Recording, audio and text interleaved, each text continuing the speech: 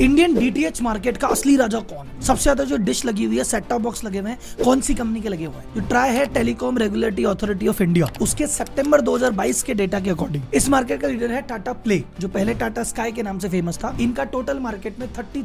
share है मतलब हर तीसरी डिश टाटा की लगी हुई है सेकंड नंबर पे आता है भारतीय एयरटेल का जिनका शेयर है ट्वेंटी